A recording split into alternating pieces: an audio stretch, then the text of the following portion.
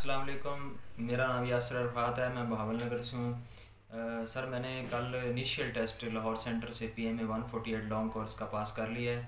Sir, मैं आपका शुक्रिया अदा करना चाहता हूँ। मैंने आपसे नोट्स लिए थे, मैंने वहाँ से तैयारी की है। तो सर, मैंने अल्हम्दुलिल्लाह अपना टेस्ट पास कर लिया है। सर बहुत बहुत शुक्रिया। सर जो टेस्ट है, वो मैं अपना एक्सपीरियंस शेयर करना चाहूँगा। सर वर्बल क्वेश्चन आपके सारे नोट से आए हुए थे। और कुछ क्वेश्चन जो नहीं थे, वो मिलते जुलते थे या उससे रिलेटेड थे। और नॉन वर्बल सर वो सारे ही एज इट एज जैसे आपने नोट्स में लिखे हुए हैं, वैसे ही थे और सारे वही क्वेश्चन थे। उसके बाद जो एकेडमिक पोर्शन है एकेडमिक पोर्शन में सर जो है, वो मैं, जितने मुझे क्वेश्चन याद रह गए हैं, वो मैं आपको बताना चाहूँगा। कुछ दो चार क्वेश्चन ऐसे थे जो जनरल नॉलेज थे जनरल नॉलेज में थे, वो मुझे नहीं आते थे, बाकी सारे ही आपके नोट्स के अंदर थे। फिफ्टी क्वेश्चन में से forty four forty five question जो हैं वो आपके नोट्स में से थे और चार पाँच क्वेश्चन वो वर्ल्ड जनरल नॉलेज थे जो मुझे नहीं आते थे और मैंने पढ़े नहीं हुए थे। जी सर, मैं जो है अपना एक्सपीरियंस शेयर करना चाहूँगा। क्वेश्चन वहाँ पर आया हुआ था एक, ये मुझे नहीं आता था। When Cuba missile crisis who was president तो जब क्यूबा में मिज़ाइल क्राइसिस हुआ तो उसका प्रेसिडेंट कौन था?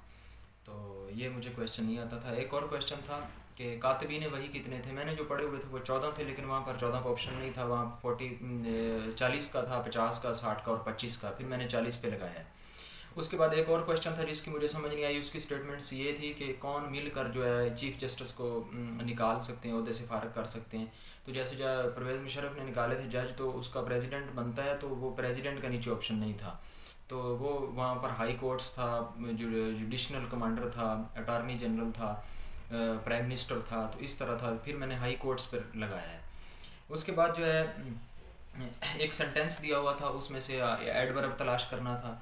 और बाकी प्रेपोजिशन के एक दो इंग्लिश के क्वेश्चन थे। एक लफ्ज़ था इरेडिकेशन मीनिंग ऑफ़ इरेडिकेशन पूछा गया था।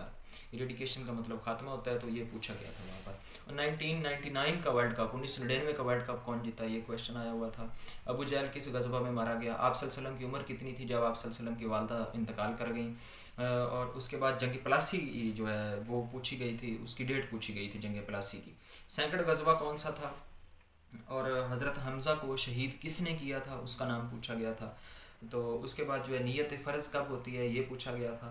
और काला बाग कहाँ पर है, क्लिफ्टन कहाँ पर है, और सबसे कम उम्र जो है वो निशान हैदर होल्डर कौन है? और उसके बाद जो है पाकिस्तान की मैन में एक लार्जेस्ट लैक कौन सी है? ये था। और सेट की डेफिनेशन पूछी गई थी। सेट के अंदर डोमेन और रेंज होती है तो रेंज के बारे में पूछा गया था। और वेक्टर प्रोडक्ट जो है वो पैरेलल कब होते हैं, ये पूछा गया था। उसके बाद जो है ये बस मुझे क्वेश्चन याद रह गए हैं जो पूछे गए थे। और हाँ उन्नीस नाइनटीन सिक्सटी टू का जो कॉन्स्टिट्यूशन था, उस वो कौन सा था? वो प्रेसिडेंशियल था, ये एक क्वेश्चन आया हुआ था।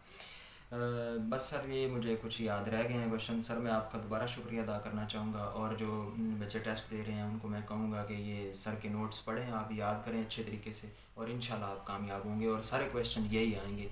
आप एटी से नाइन्टी परसेंट क्वेश्चन सर के नोट्स से आते हैं. थैंक यू सर अब देखो